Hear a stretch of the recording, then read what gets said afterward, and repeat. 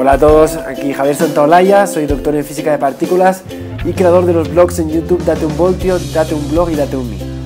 Está siendo increíble visitar la universidad y toda la ciudad de, México con mucha gente, muchos estudiantes muy entusiastas y con muchas ganas de aprender.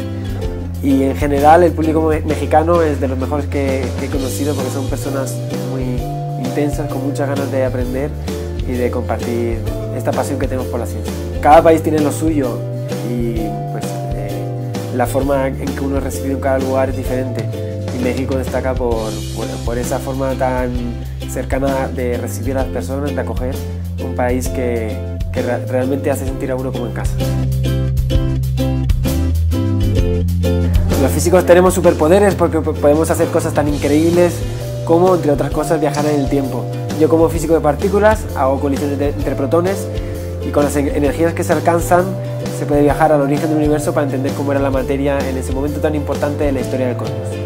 Hay formas de viajar al futuro, por ejemplo ahora mismo estamos viajando al futuro, en concreto a un segundo después de este momento actual.